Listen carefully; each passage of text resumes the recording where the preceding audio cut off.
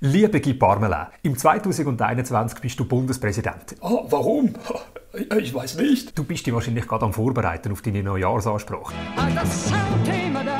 Ich weiß, es ist nicht einfach, aber ich unterstütze dich gerne dabei mit ein paar Tipps. Ich habe nämlich alle Neujahrsansprachen von deinen Kolleginnen und Kollegen analysiert. Der erste Tipp davon Zeig, dass du einer von uns bist. Mach deine Rede nicht im fett elitären Chefbüro wie dein Kumpel der Uli Maurer. Liebe Mitbürgerinnen, liebe Mitbürger. Sorry, was ist das für ein Chefbüro? Haben Sie vorher noch schnell ein Blumengeschäft überfallen? Nein, Guy, geh für deine Rede an einen Ort, der zeigt, dass du näher beim Volk bist. So wie Simonetta Samaruga im 2020. Dann wünsche ich euch ein gutes Neues. Danke vielmals, Frau Samaruga. Danke. Auch ich wünsche Ihnen ein gutes neues Jahr. Genau, gang in die Bäckerei. Das wirkt bodenständig. Ich komme regelmäßig hierher. Ich kaufe Brot. Wow, sie kauft Brot beim Bäck. Nein, echt, von der Simonetta kannst du viel lernen. Die ist immer ganz, ganz nah bei den Leuten. Auch schon im 2015. Seit vielen Jahren kaufe ich auf diesem Markt, auf dem Merit, hier vor dem Bundeshaus ein. Irgendwie ist sie immer am Posten. Alle Kundinnen und Kunden werden freundlich begrüßt, viele mit ihrem Namen. Manchmal gibt es einen Schwatz. Ah, natürlich, um mit den Leuten zu schwätzen. Das ist eine schöne Idee. Hier treffe ich Bekannte und Freunde und manchmal gibt es einen Schwatz. Wir es vielleicht einfach nicht in jeder Neujahrsansprache bringen. Okay, kommen wir zum nächsten Tipp. Ganz wichtig, brauch ein Symbol in deiner Rede. Uli? Ich habe hier eine hölzerne Kuh. Ja gut, das ist jetzt vielleicht eher ein 0815-Symbol. Ich glaube, es ist ein ganz starkes Symbol. Ah, okay. Ich teile diese Auffassung nicht. Und zwar ganz und gar nicht. Tja, gegen Simonetta hat der Uli halt einfach kein Brot. Brot. Neben der Kuh kannst du natürlich auch noch ein anderes Symbol für deine Neujahrsansprache brauchen. Das Smartphone, das ist ein Symbol für den Fortschritt. Genau, weil ein Smartphone, das gibt zwar keine Milch, aber dafür kannst du damit lustige Kuhvideos anschauen.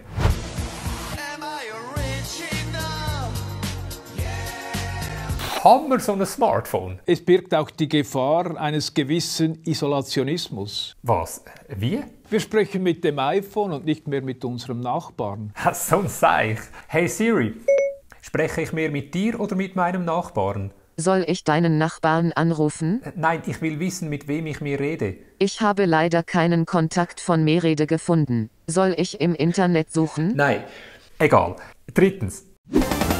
Bonjour. Guy, brauch eine starke Botschaft. Brot ist ein Grundnahrungsmittel.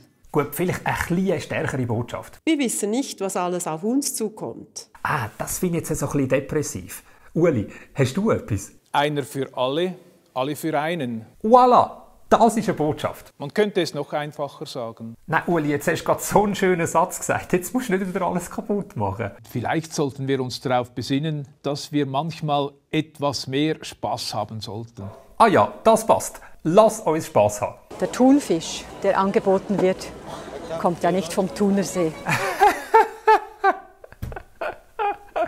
Toll, der Spaß. Genau so. Trotzdem stellen sich viele Menschen Fragen zu ihrer persönlichen Zukunft. Oh nein, jetzt kommt wieder der tiefgründige Freiburger. Vielleicht geht es Ihnen wie mir. Ja, ja, natürlich. Also, erzähl, was hast du für Fragen? Wir können uns diese Fragen nicht nur stellen. Äh, wie bitte? Wir können sie in unserer direkten Demokratie auch selber beantworten. Nein, sorry Alain, deine Neujahrsbotschaft ist einfach ein bisschen zu verschwurbelt. Das kann sich niemand merken. Nötig ist, dass wir dabei auch einmal über unseren Schatten springen. Genau, der Johann Schneider-Ammann, der weiß, wie es geht. Rire, c'est bon pour la santé. Das ist eine Botschaft, die einem geblieben ist. Und das sind auch die drei Tipps für dich, Guy. Es gibt keinen Grund, die Faust im Sack zu machen. Nein, wirklich nicht, Guy. Hm, hm. Nimm deine Faust aus dem Sack und schreib für den 1. Januar eine tolle Neujahrsanspruch. Ja, so wie die anderen.